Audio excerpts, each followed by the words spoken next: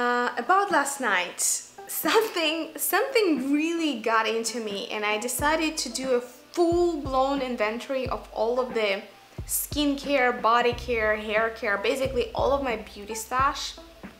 And I decided to do it on camera.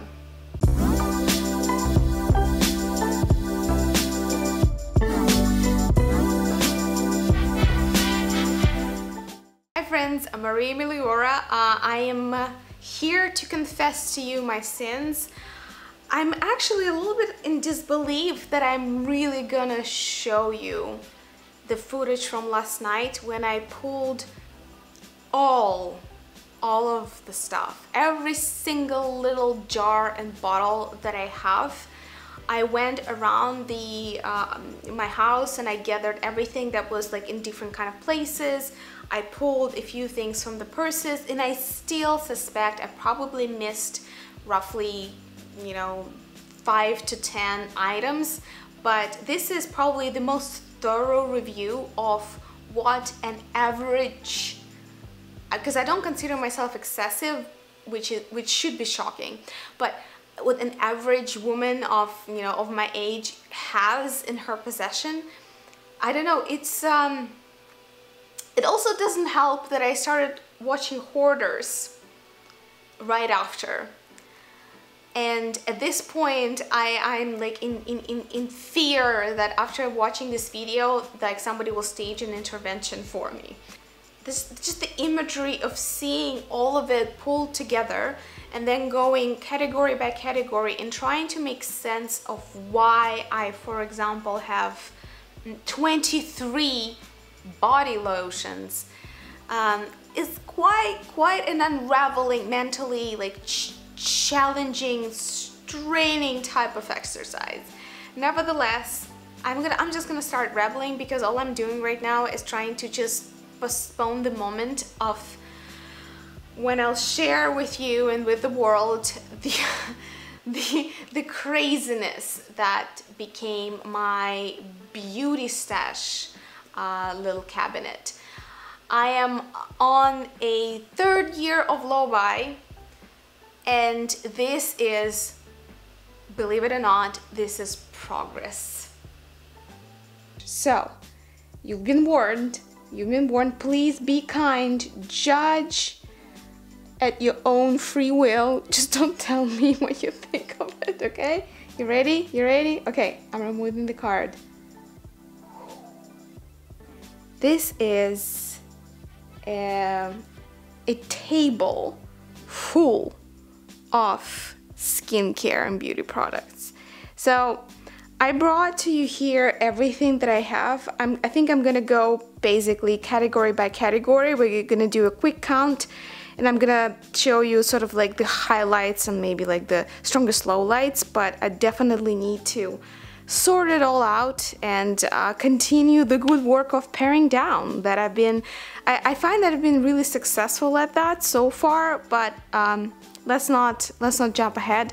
I'm gonna show you category by category where I struggle and where it actually was really blissful and rather joyful and easy to um, became a little bit more of an essentialist here's some uh, pigments for my hair that I've been trying. I have a full video on that, but I guess if you're curious, I can make an updated video to show you the other brands that I tried and how it's been going. I have a bunch of shower gels. So these were clearly the easiest to go through and I'm kind of I'm just keeping track. I think at, at some point I might get tired of and just like recycle all of this stuff. If I can master the the patience and save up a year worth of beauty empties I, I just want to see the volume of that to be honest. And um, yeah there's a bunch of stuff here. Clearly much less of skincare. This is like a Lancome Clean Cream Cleanser that I finally finished. This is a moisturizing cream by Paula's Choice that I'm not really a big fan of, to be honest. And all kinds of things here. I do talk about them in my cosmetics diary uh, on my other channel, but if you're curious to, to hear more about my skincare routine or maybe have a dedicated video, we can talk about it later. So, so far, what is it? May, June, July, August, four, four months. And I think is a lot. This is like a really, really su successful uh, project so far. And I, I just want to preface it that I'm not really pushing products out. I'm not trying to just lather them on with like with excessive volume or like pour them down the drain just to use something up for the sake of the kind of like the the thoughtful um, hedonism principles or like low-buy or minimalism itself. Not only because I'm clearly not a minimalist, I just don't really aspire to like white walls, one chair, one naked bed and nothing. I, I do like as I said, like I do like diversity. I, I'm a hedonist in my nature, but I don't want to be dragged down or frustrated by the things that I own. I don't I don't want there to be clutter. I want there to be opulence and diversity. Anyway, so I think so far good progress with the empties. This put this aside this is everything that I gathered in the house. So all of this is currently in active rotation and I do think that this is a bit much. I also need to maybe I, I, I don't know, I find that it's easier to kind of focus on fewer items and really use them a lot then you can get a very clear kind of understanding whether, for example, I like these 10% AHA peeling body cream, if it really does rejuvenate the body skin if it really helps with all kinds of kind of aging skin you know around the thighs around the like the the stretching areas the aging areas. If it really does a good job if, if I use only that, I think I will um, gain much more clear insight and much sooner than by having, how many creams do I have here? Body creams, it's just like ridiculous amount of them this is not even all there's like more there. So I think even though like you you still use some of them but it's just it doesn't create a clear picture of what you like what you don't like and it doesn't really feel like you're making any progress which I think sub subjectively is important especially when you embark on the ambitious project of paring everything down as much as you can down to the essentials and needed diversity rather than cluttered diversity. Uh, these are also empties, but the ones that I haven't really uh, talked about yet in my cosmetic diary on my other channel.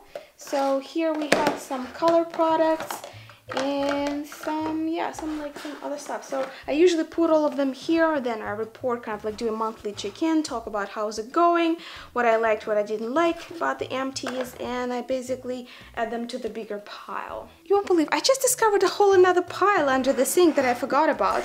But this is mainly as far as i can see hair products i am kind of going through a crazy phase when it comes to pigments for the hair is probably you've noticed. My hair is always a different color every other day. And I think this is truly a mega trend right now at least in the States. I don't know like if you if you live in uh, a different country or like if you're in the States and which state you are, tell me if it's really becoming popular because I see it as a really major, major trend, meaning that not only teenagers but women and men of much more substantial age and uh, career path have been experimenting with their hairstyles and hair, crazy hair colors. So I'm actually really glad. I never thought I would enjoy the crazy colored hair as much as I actually do. More hair tints and more hair stuff. So this is pretty much full to the brim with all kinds of hair care, but mostly hair color and I do realize that even though I do have quite a variety, maybe, just maybe, I need to pare down my hair hair pigments as well because it seems like it's a, becoming a little bit excessive. It's a it's a little bit too too many for for realistic use, especially when we're talking about neon yellow versus you know something so pastel and so kind of sublime, so demure, because there's no way after using a crazy bright orange, I can quickly transition to something so subtle. So I think I need to think about the strategy of uh, future color changes. And again, if you if you want to talk more about like the crazy hair colors and things of that nature, uh, maybe maybe deserves um, its its own little separate video where we can chat more in depth about that if you're if you're as crazy about this stuff as I am. I got one more. Okay, all of this is also going to a sorting station. Uh, next, we have all kinds of body products that are waiting for their turn to be used. Some of them I have started, like this one that I got from uh, Clarins. I think there was a PR sample, a sample, it's like a full-size product. They sent, I think it was through Octoly maybe, I don't remember. It's really great oil. They say that you can use it in the shower, but to be honest, I actually do prefer to use on my feet because my, my skin on my feet has been just doing something really weird. It's been cracking. It's like no no creams, no body lotions could really do it justice and keep it moist and kind of like firm. And this thing does wonders, especially if I put it on my feet, I wrap it in some like simple cotton socks. The next morning I wake up with like baby skin on my feet and I love that for it. Uh, yeah, so okay, so this is sort of body products and two extra what is it? Deodorants? Oh this is like a painful point. We might discuss or might not. I don't know. Uh, this is skincare extras not used yet. Well actually some of them are have been lightly used so i need probably to speed up my rotation. And these are shower products. Yeah. And so different soaps and all kinds of perfumed shower gels. When it comes to new stuff, I only added, if I'm not mistaken, no I'm not mistaken, in the month of August, I only added two products to my inventory and these are by Protocol. I, I kept the card because I keep forgetting. It's a as far as I know, a relatively new brand. They claim that they do a lot of kind of moral chemistry. A lot like, actually, their claims are similar to what I hear from Paula's Choice in uh, uh, Algenist, so that they do kind of sustainable, environmentally friendly, clean type of chemistry for aging skin. And I decided to accept a few samples from them uh, through Octoly as basically as a PR sample. The vitamin C serum, these are very hard to formulate right, so they would actually work. So we'll talk about it later. So I'm excited to try what they did with vitamin C because a lot of those serums are like half not functional the moment they leave the factory. And the um, uh, niacinamide, niacinamide, okay, Nia, niacinamide, okay, I was like, am I going crazy? Um, hyaluronic acid uh, and moisture cream. So both of these products are claimed to be formulated for environmentally, environmentally stressed skin or aging skin, which is yes and yes in my case. I'm very excited to try them, but I also wanted to talk about the with these two kind of in the context of the other skincare that I have. And the last one is very carefully packed my travel bag with all the liquids in it. So here I put basically a bunch of smaller samples and kind of like de decanted, if you wish, uh, some skincare so I can take it with me. I'm planning to travel very soon. So I will include these in the count, but I just don't want to mess with the bag. Like, I'm basically si sitting on my luggage. It, it barely, the bag barely closes, so I don't want to mess with this any more than I have to.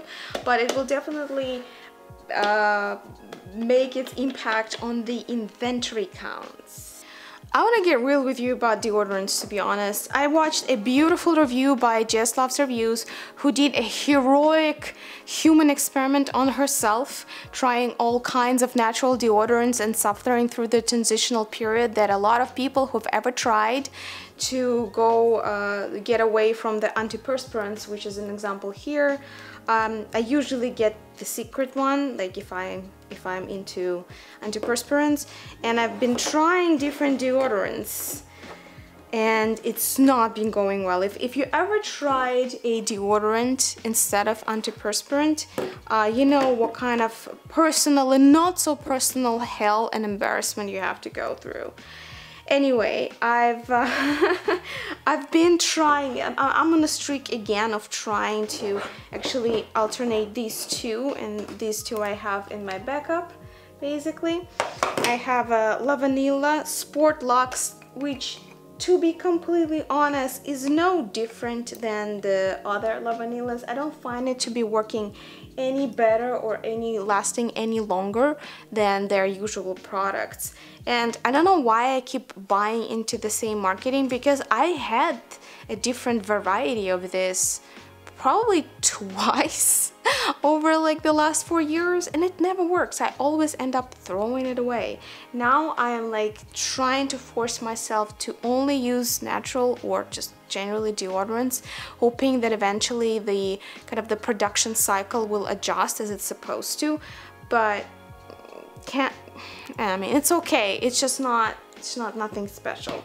Same goes for Burberry Brit Rhythm. I mainly got it because I really wanted a perfumed deodorant and I couldn't find anything anything I wanted to try smell-wise and I decided that a good old kind of least like a zonic um, typical kind of male cologne perfume should be a refreshing treat I guess when you're when you're battling uh, the, natural odors uh, it does smell like a very generic men's cologne and this I think has a very mild kind of floral scent.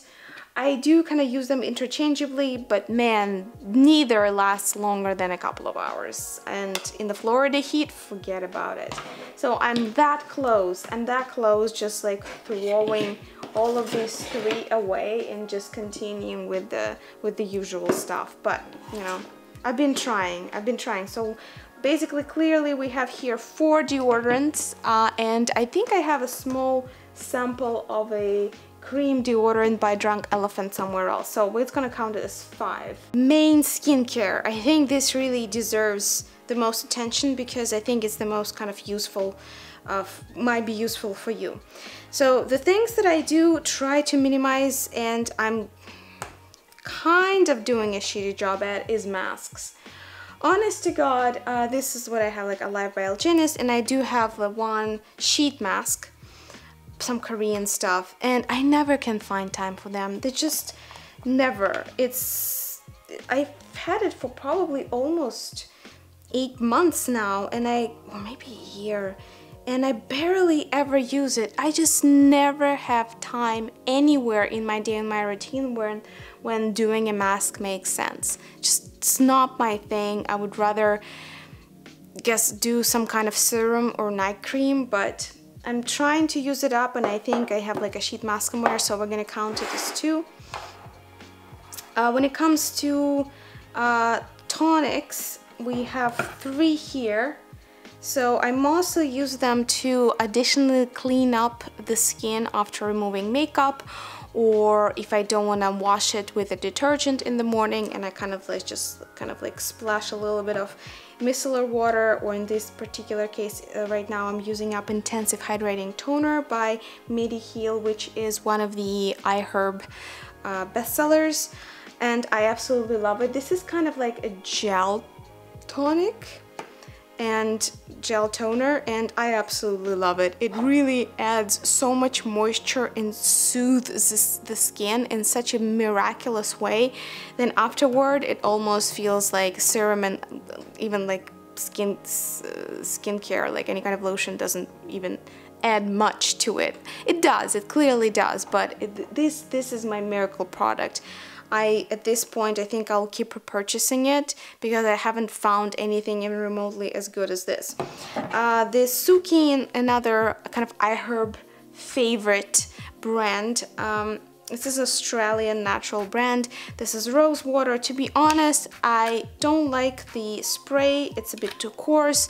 It really has a strong smell of rose water and it's not really that different that a thousand other water kind of sprays. It doesn't really do much to be honest and as soon as the spray evaporates the skin remains just as dry if not more than before so I'm kind of just using it like flavored water on on my chest or my neck and I'm just waiting for it to be over and you know be done with it this is a new stuff that I haven't even opened. This is a rose, uh, water rose micellar cleansing water by Garnier. I heard really good things about it and it's cheaper than Bioderma. We'll see how it works. But to be honest, it it has to do something amazing for me to replace it replace the Mediheal with it. Right now this is like my number one when it comes not only to cleansing the skin but simultaneously cleansing soothing hydrating and prepping the skin for the like for the serums and the extra stuff.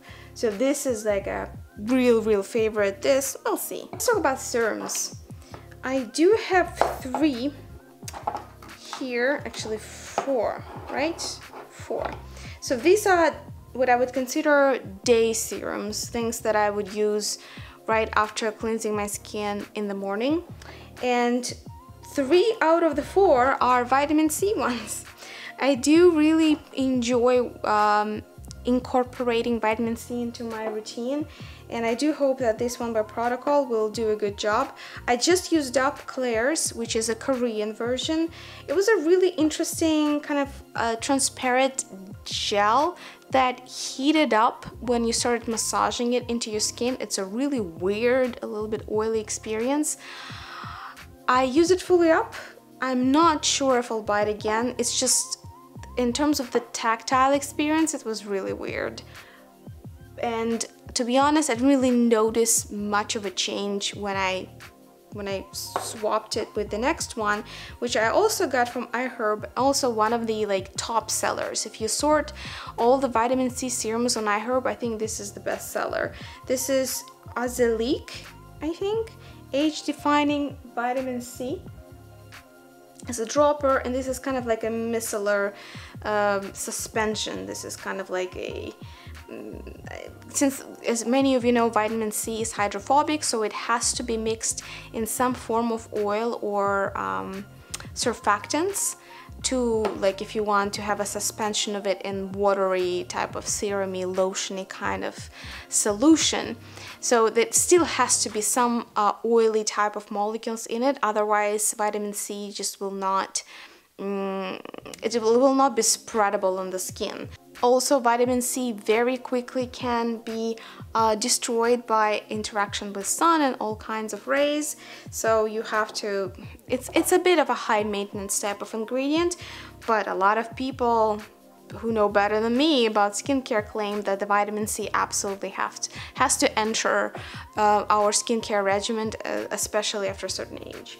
So uh, I really like this one in terms of the tactile feelings and I don't really to be honest, with skincare, I rarely can really tell a big difference.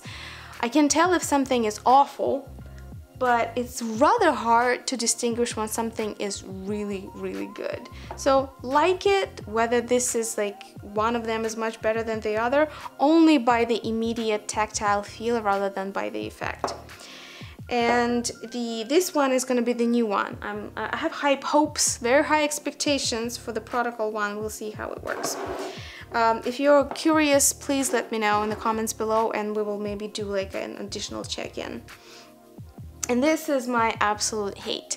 This is also an iHerb bestseller, Now Solutions Hyaluronic Acid Firming Serum. I've tried to use hyaluronic acid serums in all kinds of environments in California and in humidity of the south now in Florida and it just never never ever works. It always dries out my skin. I don't understand if this doesn't bring moisture in 88% humidity type of climate then I don't know when it will it always takes the moisture out of my skin and delivers it to the outer environment, I presume, just the thin air. Uh, again, some of you who probably are curious about the ingredients have heard that hyaluronic acid is kind of like a water transporter. It, it, it sits as a, as a film between two surfaces, in this case your skin and the air that surrounds you or maybe like something else that's around, uh, like maybe a thick layer of cream and it takes water molecules from a more water-rich medium and transports it to the other side, which has less water. So theoretically, you put it on a clean skin, then you kind of seal it with a super moisturous, rich cream, and then it kind of keeps the water coming to your skin. Again, not a good idea to wear hyaluronic acid in really cold weather or in very dry climates.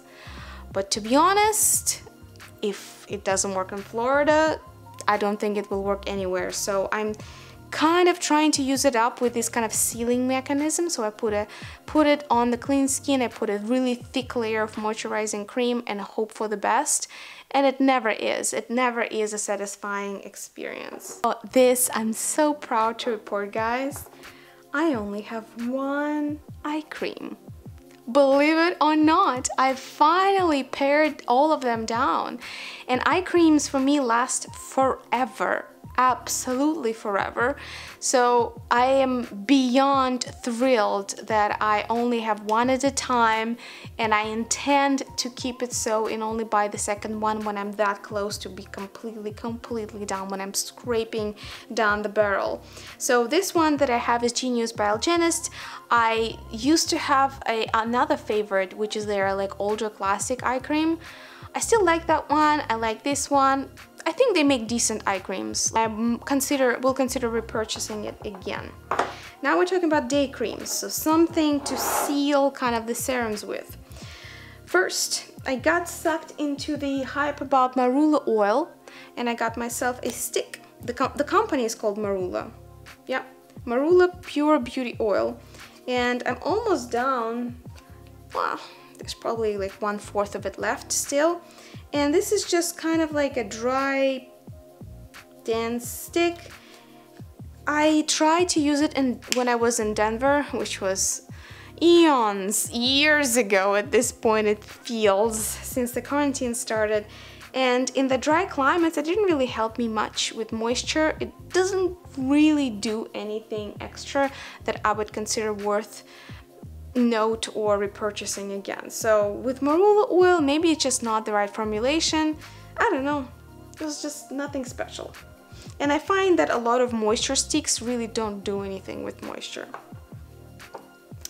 These are the three day creams that I have right now. This I'm going to be, sorry, uh, here we go.